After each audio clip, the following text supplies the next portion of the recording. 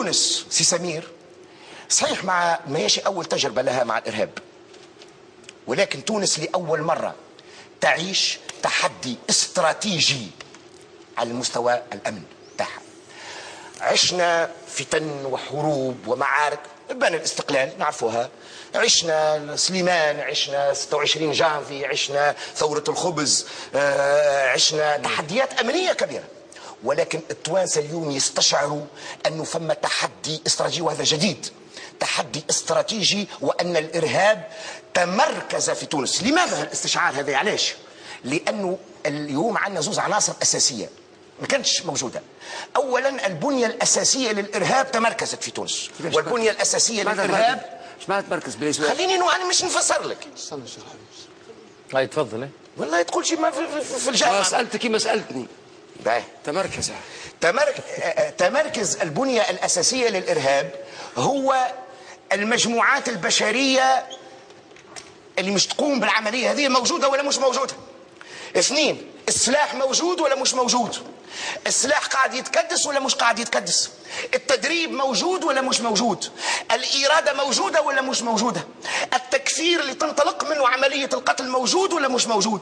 هذا السلاح بيب اللي نسميه البنية الأساسية للإرهاب. وراء البنية الأساسية للإرهاب هذه هناك مناخ سياسي. حضرتك في كلام اللي تقول فيه تا- بكري هو يعد المناخ السياسي لكي تتمكن هالبنية هذه من أنها تمارس الإرهاب. ثم تحدي وعلينا أن نواجهه نواجه التحدي هذايا بمخطط وخطة استراتيجية شاملة. تشمل الثقافي تشمل التوعوي تشمل الت- التكويني وتشمل الأمني اليوم فما سؤال حقيقي وواضح هو اللي تبين منه الخط الأبيض من الخط الأسود. اليوم كل الناس اللي يعرفوا مسائل الإرهاب هذه ومكافحة الإرهاب يطرحوا السؤال هذا. هل أنتم مع مسألة تصنيف المنظمات الإرهابية. إذا كان فما إرهاب إذا كان فما بنية تحتية للإرهاب إذا كان فما تحدي للإرهاب فنحن لا نحارب أشباح ولن نقبل أن يتم الدفع بنا لكي نحارب أشباح. ال- الحرب ضد الإرهاب تحتاج أولا سواء كانت أمنية أو غير أمنية سياسية أمنية ثقافية تحتاج إلى مسألة واضحة.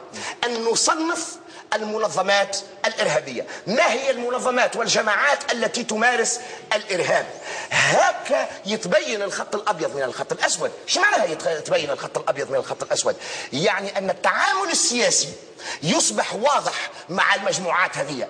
اليوم إذا كان آه، آه، جماعة أنصار الشريعة يتم تصنيفهم ولا بد يعني آه، أن يكون هذا على معايير بطبيعة الحال أمنية معايير حقيقية. أن يتم تصنيفهم مع ضمن منظمات الإرهابية. يعني هذا أن الأحزاب السياسية أنه القوى الدعاة آ- يعني كل الفاعلين في المجتمع التونسي لا يتعاملون مع هذه المنظمات. هل أنتم هذا هو السؤال الخطير اليوم مطروح حتى على طاولة الحوار الوطني وكنت أتمنى اليوم أن أسمع في طاولة الحوار الوطني هذا المطلب الأساسي. هل ستقبلون بتصنيف الجماعات الإرهابية؟ لأنه بدون هذا التصنيف سنبقى نخوض حربا ضد الأشباح وحربا ضد الأشباح تنتصر فيها دائما الأشباح.